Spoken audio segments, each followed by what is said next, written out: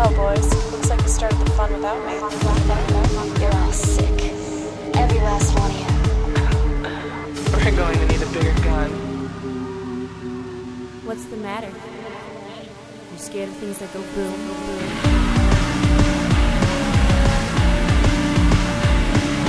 Give me one goddamn reason why I shouldn't blow your goddamn brains all over that goddamn wall. My name is Eric, and I'm here with Pipe Swing and Michael Kester. That's right. And uh, we have we have a special show today. Yeah, we're today doing one of those. Our, yeah, our David Cronenberg uh, special episode of David Cronenberg. Um, uh, this is one of the few times we've done this. The first time we did this was with Darren Aronofsky, right? And we did it as kind of a primer to later talk about because we had Requiem for a Dream coming up, and there was enough to talk about in that show that we didn't want to talk about all of the Aronofsky stuff. So we did an episode early where we talked about Pi in the Fountain. Uh, what movies are we doing today? Talking about Mr. Cronenberg. Today we're going to do Scanners, which is one of the early 80s sci-fi bloody weird shit. And then we're going to do Eastern Promises, which is one of the newer Your Mom Likes This Film films. Yeah, yeah, the modern one. I don't know if your mom likes this. Well, film. your mom thinks she does. Okay. All right. Yeah, it's one of the more modern ones. Uh, this will be great. You can help me with this because I get the 80s stuff.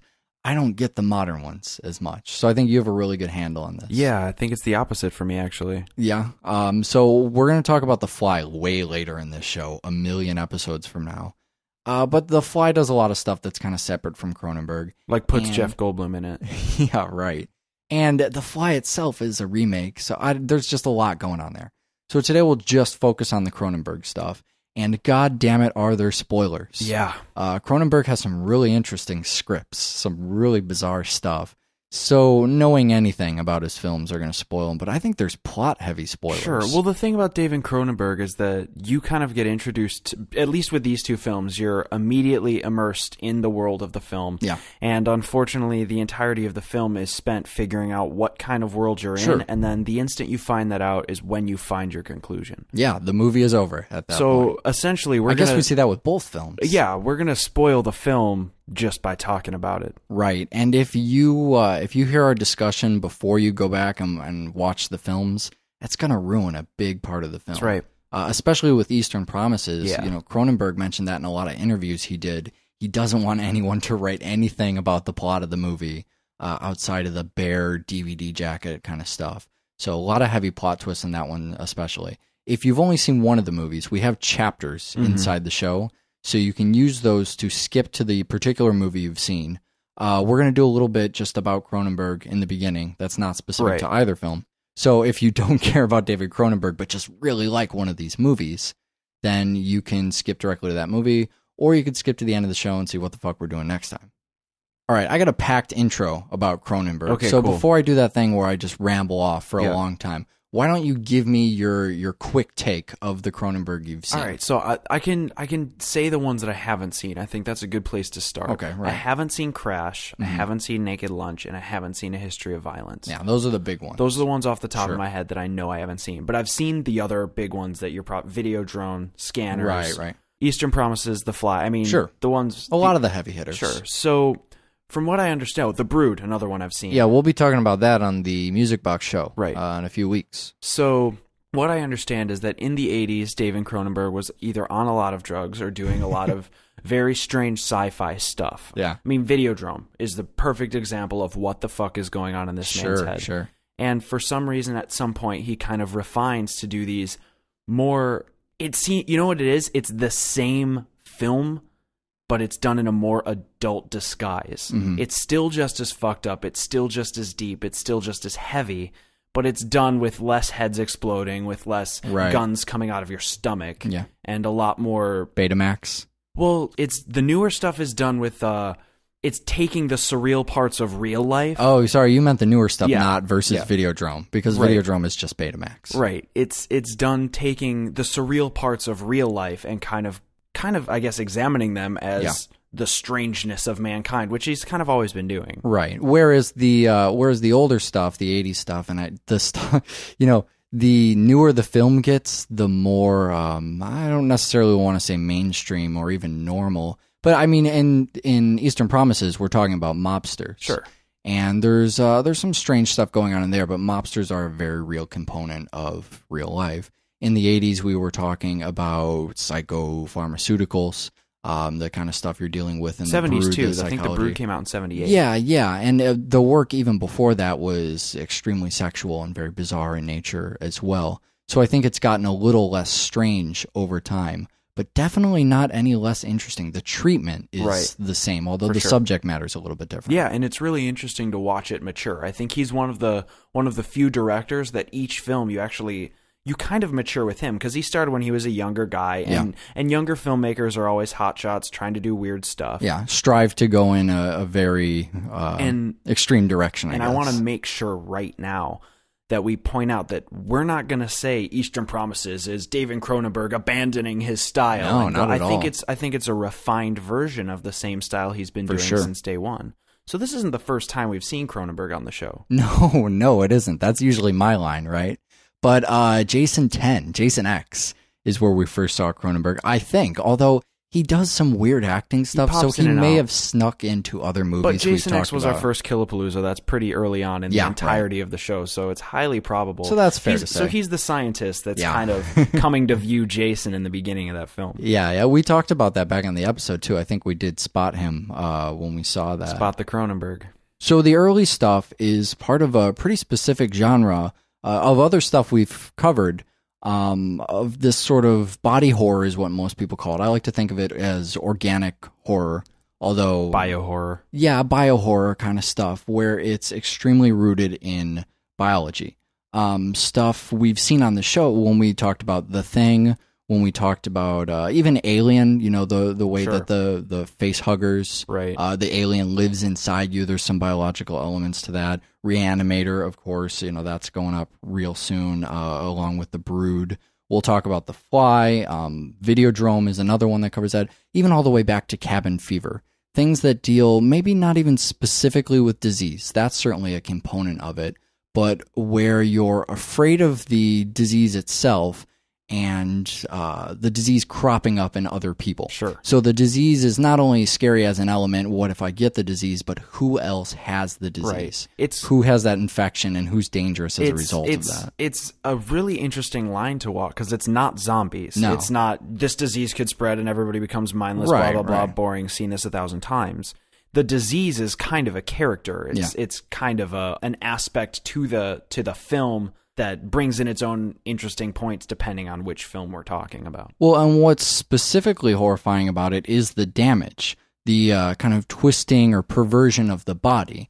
You know, there's always a point in these movies where one of the characters gets the disease and slowly turns. And in the Cronenberg movies, you always see the deterioration of the body. It's always pieces falling off or boils showing up. Well, it's kind of like uh, it, I mean, in a in a exaggerated sense, it's like the early parts of uh, Dead Alive. I don't know if you remember that, right, but right. parts where ears are falling into Yeah. custard and stuff yeah, like yeah, that. yeah. yeah, something like that. So I guess it's just as much that transformation. A lot of people working in that genre will use, uh, look at Cabin Fever, use the disease as an antagonist. But with Cronenberg stuff, you usually see those events as a catalyst. We'll talk about that a lot with The Fly. But that kind of um, body stuff is it's what motivates the characters into doing something. The one other thing I wanted to mention about Cronenberg before we do get into scanners, uh, not that he's Canadian or not that he's an atheist, although both very hip. I wanted to mention that his his work is often extremely sexual and focuses on fetishes and kinks. Uh, you see that in Crash. You see that even a little in The Brood with Mhm. the kid stuff going something on there. about that. Um, but There's something sexual. yeah, in there. there's something weird and sexual going on in there. But we don't see that. I don't think really in either of today's no. features. I guess we've so, failed. well, we get all of the big Cronenberg stuff from the old and the new, but just not hitting up the the sexuality that's prevalent, uh, specifically in his earlier work. Well, maybe we'll get to that on the fly a little bit. Yeah, you know what else? You do get that a little in History of Violence. Now that I think about it, that's part of the awkwardness of that too. But um, you know, that's part of the later stuff when it, the tension is more about you know how he's getting under your skin, uh, metaphorically, I guess, instead of physically, Mhm. like the old stuff. So we'll start with Scanners, and Scanners is probably the least sexual thing that he's done at this point. Although it's really well remembered for being so fucking odd. Yeah. Um, along with something like The Brood, this is rooted in psychopharmacology.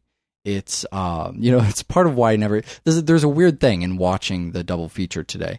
I have a hard time trusting uh, Patrick McGoohan's character, Mhm. Dr. Paul Ruth, for no reason. Because he's old. I mean, there's no. Yeah, I have a distrust of old people. Apparently, is there any reason not to trust this guy? Uh, he, you know, I think it's because he knows too much, and you find out later on that he's kind of been lying the whole time. Yeah, you yeah. find out he's the father. You find out he's been fostering the scanners Sure. from the beginning. Sure. So I guess he's a distrustful guy, but at the same time, he's not a bad guy. Right. So we get that medical theme and that kind of psycho. Uh, I guess it's psychopharmacology. That's what it is. That theme is there, and you see that in some of uh, Cronenberg's other stuff. But there's also this theme we didn't talk about yet of the underground, of this movement or this experiment that's kind of kept secret. Uh, the Brood had one of those. Crash was, you know, an underground of people who had a sexual fetish for car crashes. Right. Um, David Cronenberg's Crash, obviously not the other Crash, which is so not about sexual car fetishes. Not too much. Not even a little bit. It's everybody's latent racism. That's the villain in that film. So you mentioned it earlier. One of my favorite things about uh, almost all of Cronenberg's stuff is you jump right into the world. You are right into things, moving right along with the plot before you have any idea why that's happening. It's um, it's not until again, as you said, till the end of the film where you've put all the pieces together. You just know that all of the characters are running towards a point. Sure. You're dropped in, you see a bunch of people running, and you just start running after them. And you don't necessarily know where they're running or why they're running. You have an idea of the place they're running, but not what they hope to accomplish when they get there. And you continue to run after them. It always kind of keeps you guessing and keeps you paying attention, Right. really. It keeps you looking to, to figure out the information before you run by it. Sure, and that's a really smart technique as well because while you're sitting there trying to, you know, grasp at any clue of mm-hmm. information, it's a really good way to get around our I guess this is this one of this year's most biggest pet peeves, I guess, on double feature. Mm-hmm. But it's a really good way of getting around Deus Ex Machina. Yeah. If you don't explain the rules, then you don't have to defy them later. Right, You just you just get to drop new things in and people pick it up going, "Yes, information, information. Yeah, I need to know about this world and you don't get a chance to go hey wait a second you said this and now there's a book that tells me that Right. all this other stuff happens Well, absolutely. Look at the scanning mechanism. Right. The titular scanners. That's what we're talking about in the movie. That's what drives the plot is these abilities people have.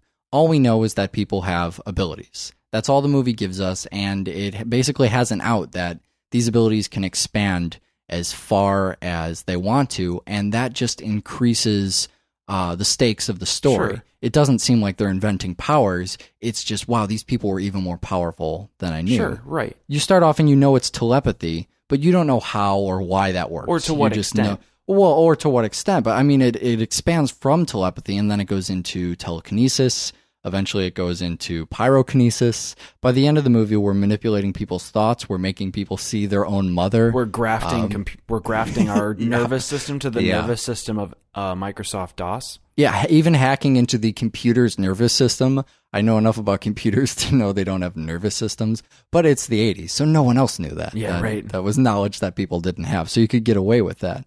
And those are all things we buy just because we're catching up with the movie and we feel like the movie, it's telling us first. It, we're not finding this out third hand, like when the movie drops an imaginary book and then we read the book and find out there's new rules. This is a movie where as soon as the characters find out, we find out. We see it first, so we feel like we're there when it happens, and that's why we don't feel cheated.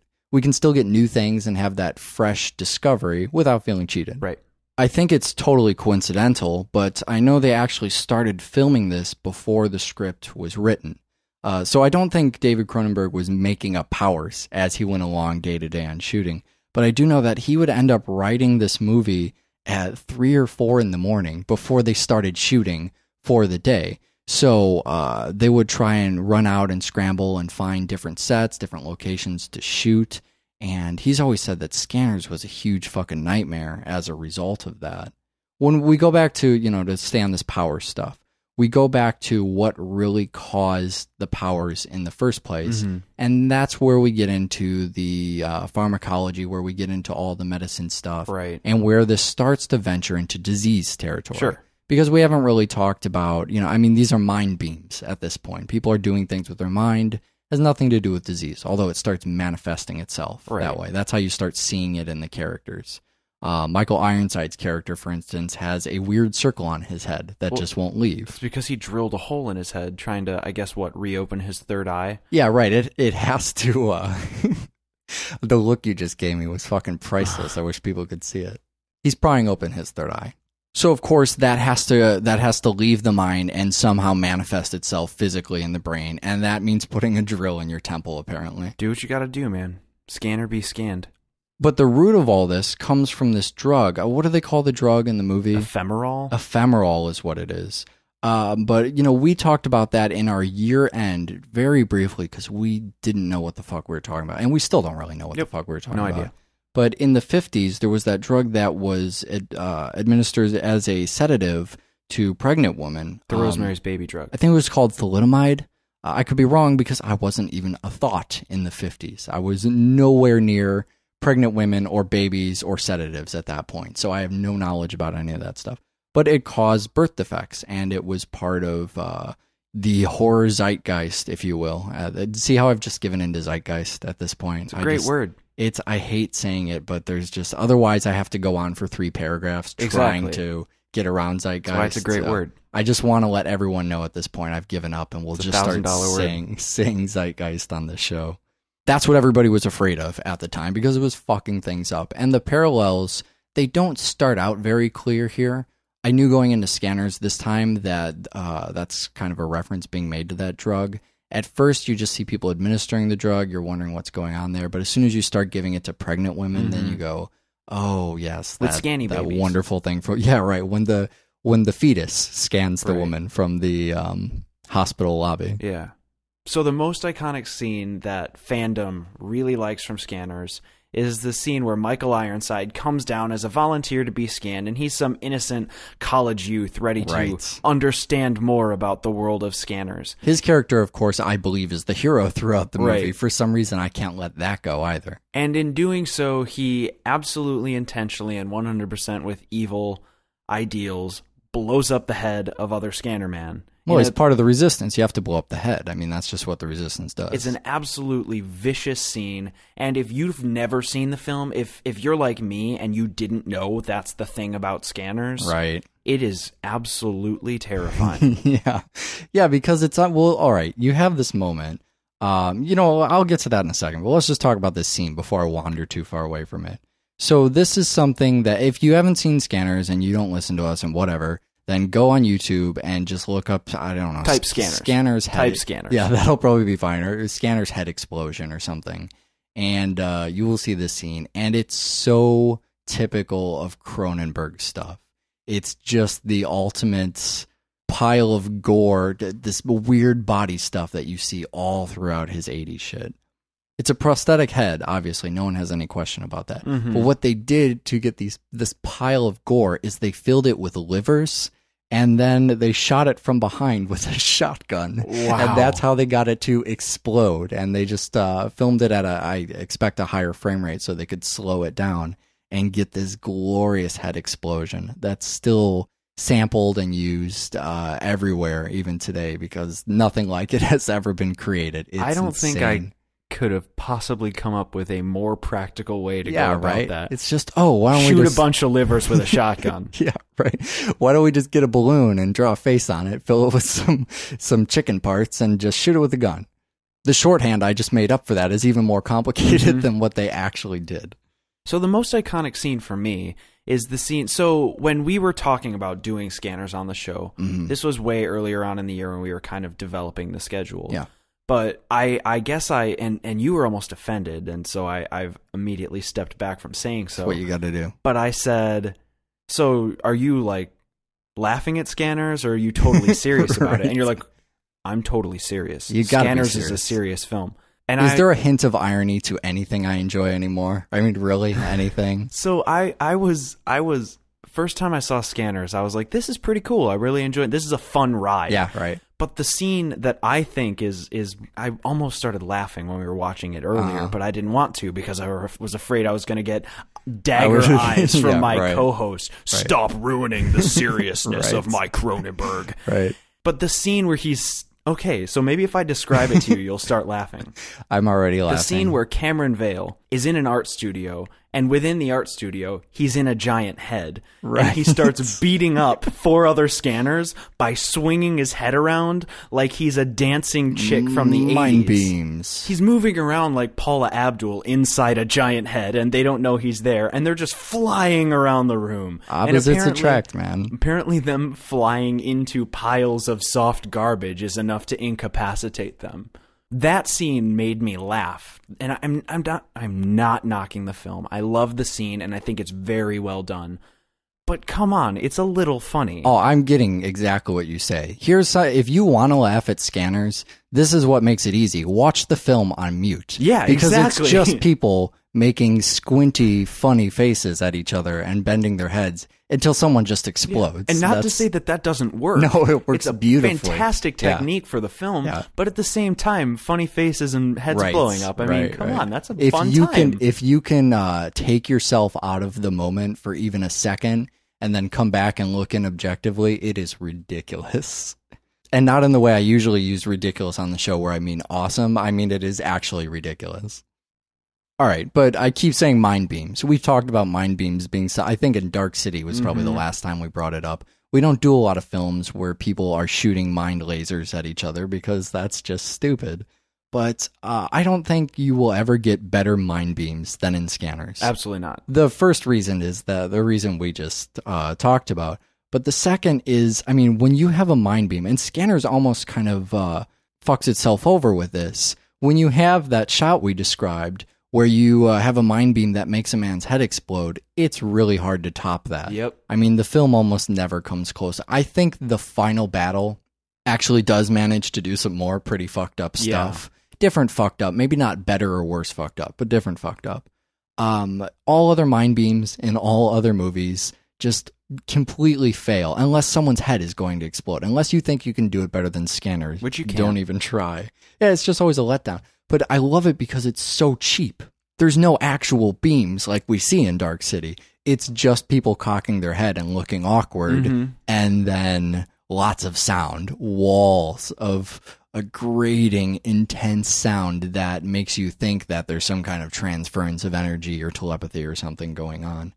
Sometimes they'll also show the connection uh, between the two minds by crossfading the shots of one person's face over another person's face where they line up the eyes. Sure. Um, just all these little clever, low budget kind of things to uh, make you understand the powers of the world without once ever tracing in permanent marker uh, a line from one person's head to another. I, just to go back to the first one, this is some of the most tension I've ever experienced in a film. You know during the scans, especially before you know what the scans are, and it's a good idea that they put the head explosion so early on so you know how bad they can become. But when you have uh, a scene like this where you know something's coming and a character, they start vibrating and they start breathing frantically and the music starts elevating, which, by the way, try this on people. I encourage our entire audience to go out and stare at someone and then force yourself into convulsions. You will freak the person the fuck out. But what helps it a little bit more in the movie is all of the sound. You know, the film often couples these scenes with an increasing pitch in the score. The pitch will just keep going up and up until you think it can't get any higher. And then if there's some kind of beat associated with that, it'll the pace will increase. The heartbeat scene, uh, for instance, you know, you have the usual whirring machines, those distorted keyboard sounds Right. that you always get, but you also have the heartbeat pitch going up and the man's heartbeat increasing until you think, well, maybe his heart will actually explode out of his chest. It's just really fucking tense when nothing's actually going on in the frame except people making stupid faces at each other. Even when they're not shooting mind beams, I mean, there's a pretty heavy, it's a heavy audio film. Uh, you know, the the voices when you can hear the other people's voices, those are always mixed together with some kind of flange or what is that? I guess that's like a chorus effect they're yeah, using on a lot of it's those some modulation. And then there's pitch shifting going uh, throughout those just to make the thoughts harder to hear rather than obscure the audio through, uh, let's say, volume in the film and make it hard to hear. You're aware that the characters are hearing audio, but they've lowered the pitch so much that to the viewer, it's not really, uh, Right. it's not understandable. Okay, so at the end of Scanners, we get the twist. This is the thing that you could never possibly see coming, and it's the moment where you go, "Oh my god, I understand!" and the movie Yeah. ends. Yeah. You find out that Cameron and Revok are brothers, And not spiritual brothers or metaphorical Right. brothers, but literally brothers. and furthermore, that Ruth is their father. You find out that the three characters you've been following the whole time are a big happy family. Yeah. And so there's this a mind meld, if if we can reach to Star Trek. yeah, sure, mind meld, that's fine. And Revok has decided he's going to suck Cameron into inside of him, Right. And they're going to essentially join and become one. Yeah. Because Cameron refuses to actually join Revok in his his mission to create a bunch of super babies. Would you say they're going to form a weird amalgam? You know what I wouldn't do is say that, but what I will say is that the scene is great because you watch the veins form, Yeah. pop, and Yeah. squirt. Yeah. And that's not the only thing that pops. Eventually, poor Cameron, the man with the eyes, loses them. Yeah, well, uh, there's the heart burst in there at Right. some point too, or some kind of weird chest burst. Uh, and then his eyes melt. I mean, I think his eyes melting is probably as fucked up and on it. If they just blew up another head, you've already seen that. That doesn't matter. But when his eyes melt out of his fucking sockets, and that also helps because you go back to Michael Ironside's character and you see, you know, the thing with his wide eyes, Right. Which also looks extremely fucked up. But then you have just in your head the transference of the eyes kind of being the transference of that consciousness Right. Him moving into the other body which is solidified when kim walks back in the room and she sees the melted body on the floor uh, you cut back to michael ironside and you get the last line of the Yeah. film and everything and so that's the moment where you understand all of it and then credits roll right. Eastern Promises, on the other hand, far away from the 80s stuff, is uh, one of his most recent films. It is his most recent film. Yeah, I, I know he's working on a lot of stuff now. but He's the kind of guy I would not be surprised if between the hours that we've recorded this That's and true. put it up, another film has just just reappeared. With the uh, retired Viggo Mortensen, by the way, Yeah. just showing up in the film. That bastard lied to us. So the modern stuff I understand a little bit less, but of uh, between, if we're just going to look at the last two and say um, a history of violence and Eastern Promises, I understand Eastern Promises more Uh huh. Only because I've painstakingly drugged myself through other crime films. Yeah. And I will tell everyone now who has even a, a slightest bit of interest in, oh, the crime drama, that's kind of, maybe you saw this movie. Sure. And you said, wow, crime films, there really is something to that. Maybe I'll go check out Goodfellas and Godfather and Casino and all that shit. This is the best crime drama. I mean, of all of the, the mafia, gangster, mob shit, I mean, I don't think it gets any better than Eastern Promises. And that is all. I mean, a lot of it's writing, of Mhm. course, too. Uh, credit where credit's due. But it's the usual projects we see Cronenberg attach himself to. Sure. Even if he doesn't write a lot of his projects, he picks the projects that lend themselves best to his style. And his style is apparently awesome filmmaking. Absolutely.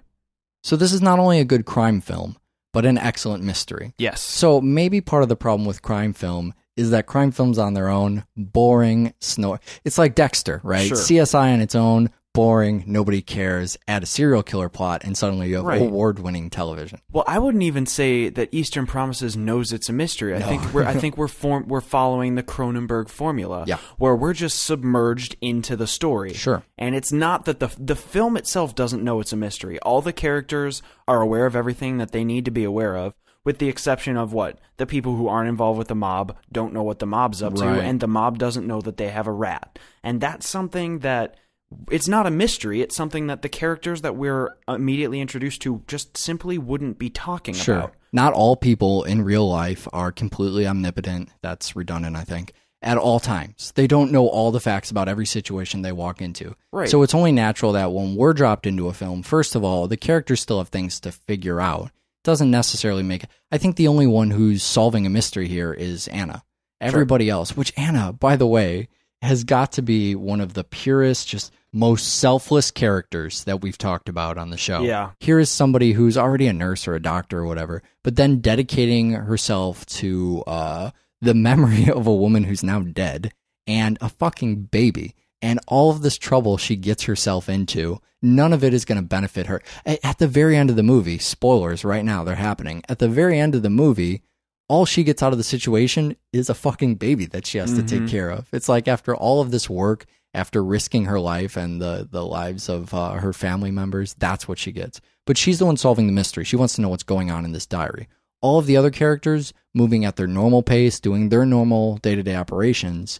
It's just that when we're dropped in the movie, as is naturally expected, and something we don't hit on nearly enough in this show, that's what's realistic. You don't walk into a diner and hear a bunch of people talking about who they are as characters. they- conversation. Yeah, they don't all start from the beginning. They start from what they're doing right fucking then. And that's where we start from in this movie and a lot of Cronenberg movies. And I'm of the opinion that unless you're telling some sort of legendary narrative, that's probably where you should start Yep. because that's the natural place.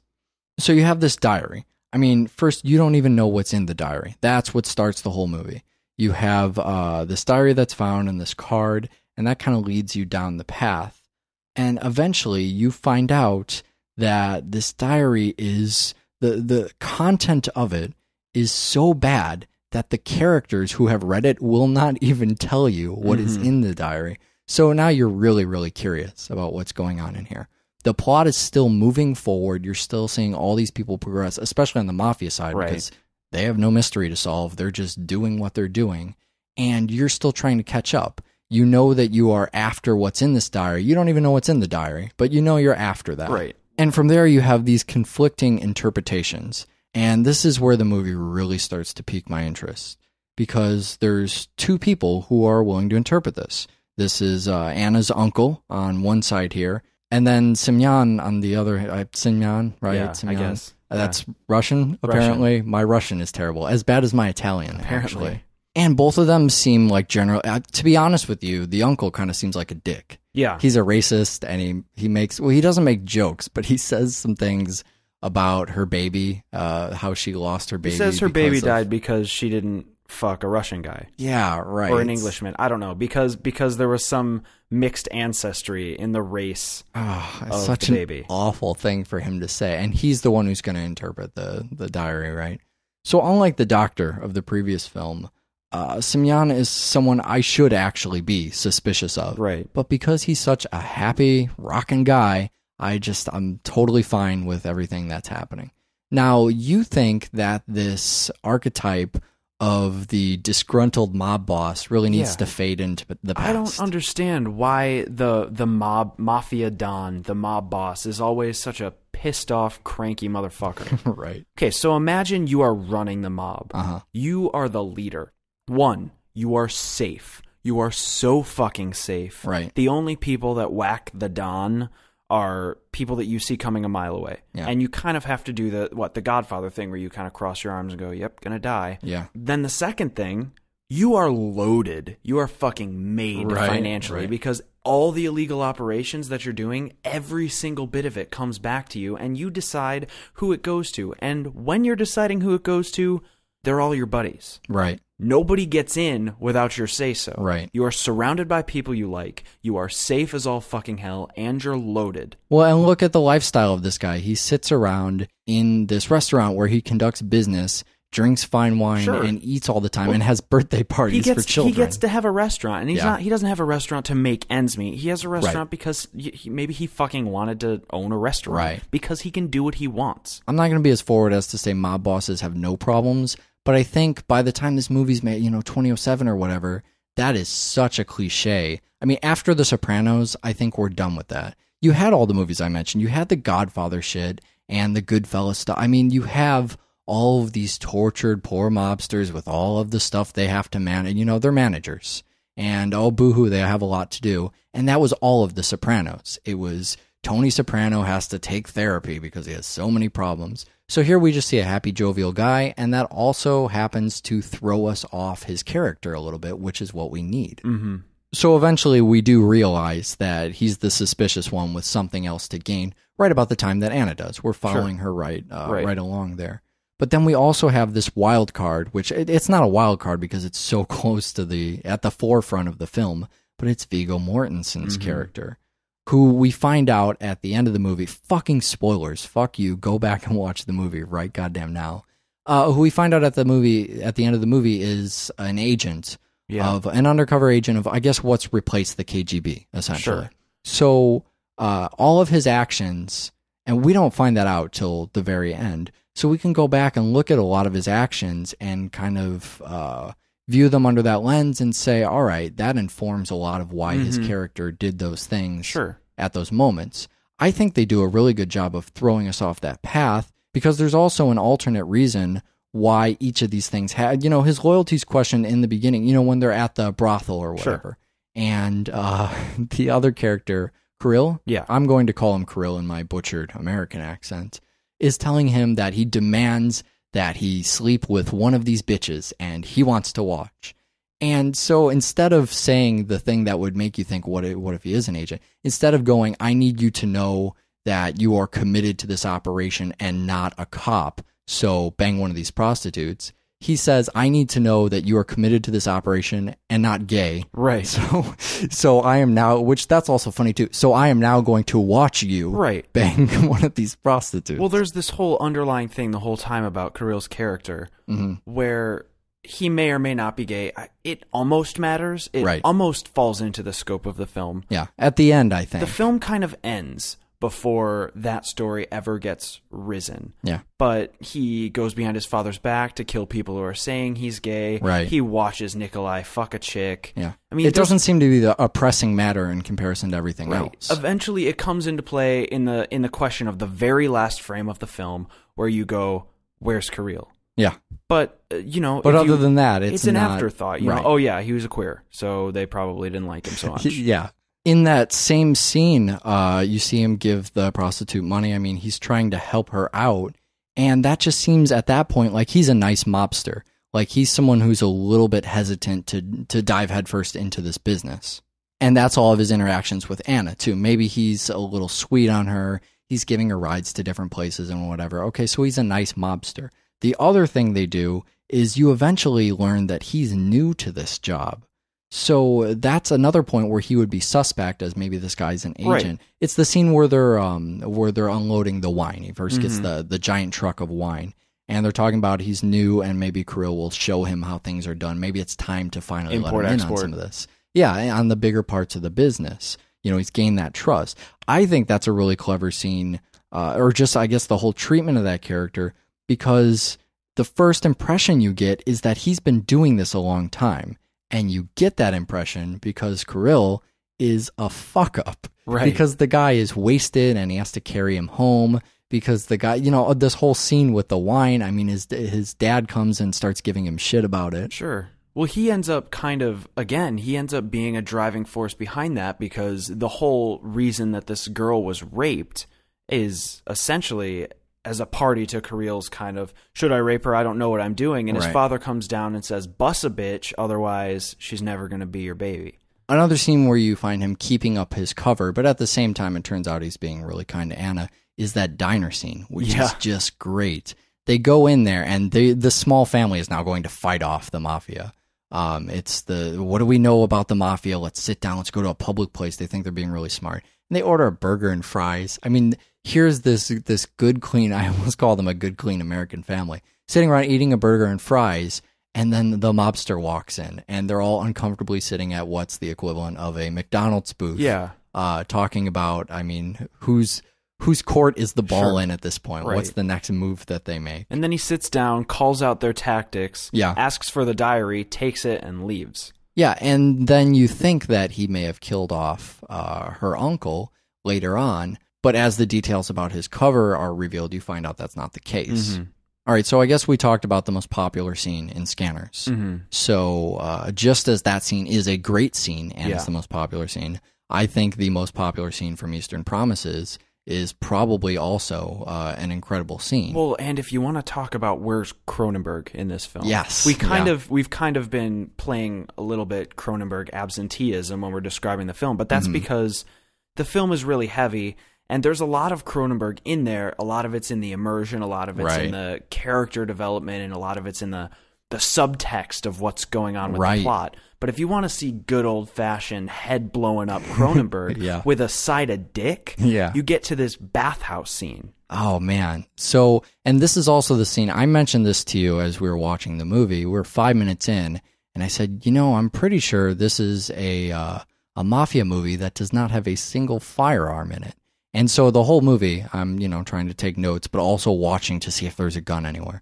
Not a single gun. However, they do have these ridiculous knives. I think They look like used, raptor claws. yeah, they're used to cut sheets of paneling or something, and they're used in the uh, in the bathhouse scene. That's the only time you really get a struggle with arms, with Mm-hmm. some kind of weaponry. Although it's not guns, that would be a way different scene. Right. But that's where that good old Cronenberg awkwardness and tension And of violence. course violence and nudity. violence. Yes. Yeah. So Viggo Mortensen's character is at his absolute most vulnerable because he has no fucking clothes and he has to fight off these two mobsters.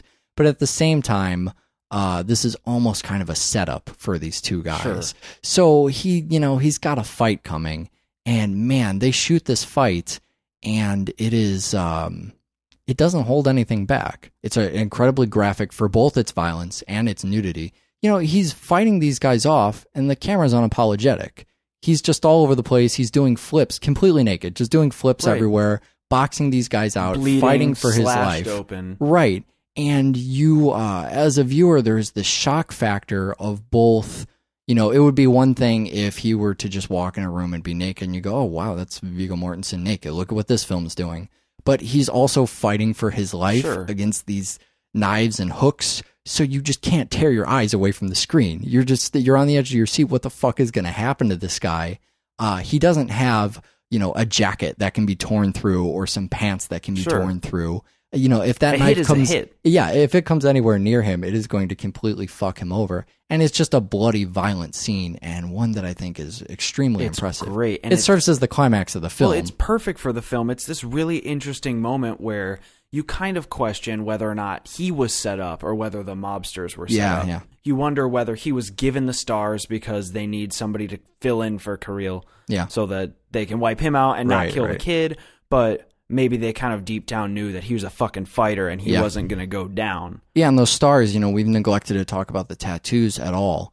Uh, mostly because I don't know anything about mops, mafia tattoos. Well, there's a really cool tattooing scene in the Yes, film where sure. where essentially the I, I'm guessing they're bo- they're mob heads, they're a bunch of the bosses, and they read him. Yeah. He kneels down and they read him, ask him for verification on his life, and then tell him to say he hates his parents. Yeah, well, he's sitting in that chair, and then he stands up, and you see the the full tattoos. I mean, it's almost head to toe, covering his body, telling his story about uh, his prison sentences and you know what his life up to this point has meant.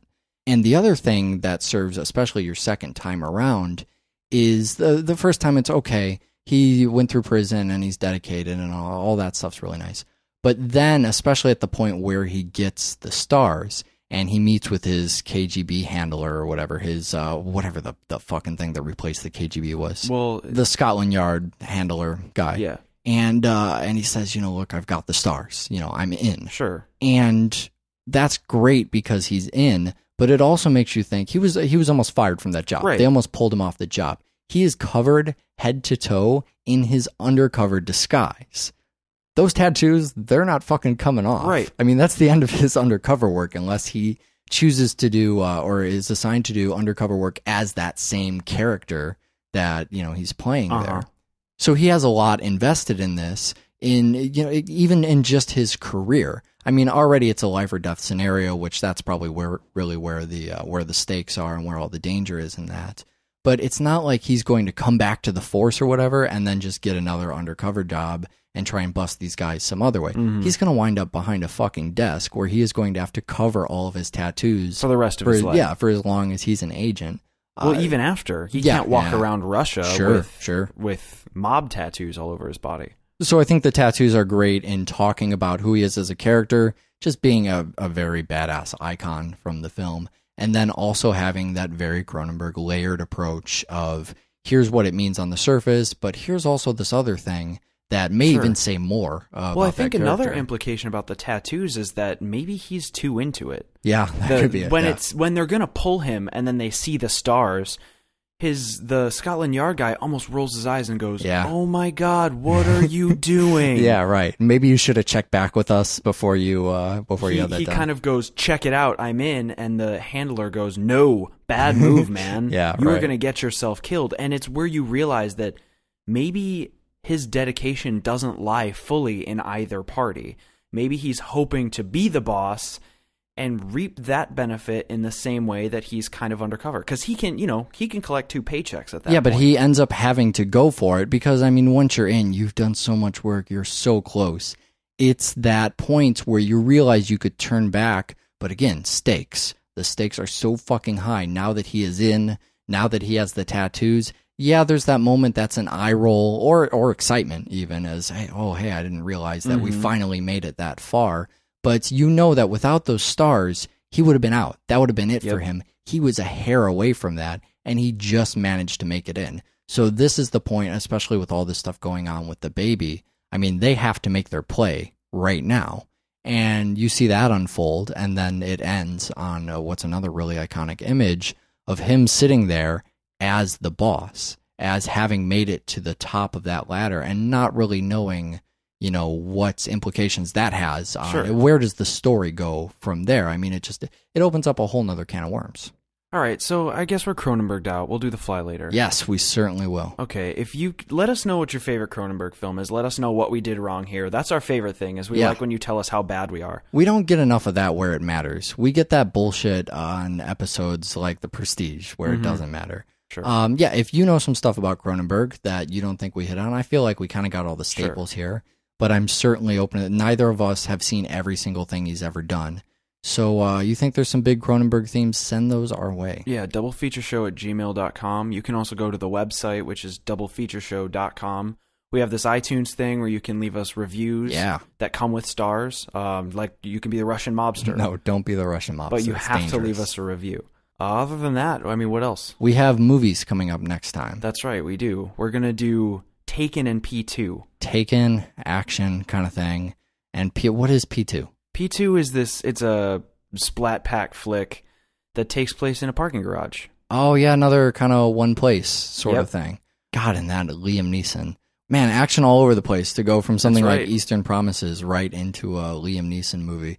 Our audience may be actioned out at that point. Fucking man up, pussies. Watch more fucking film. Bye.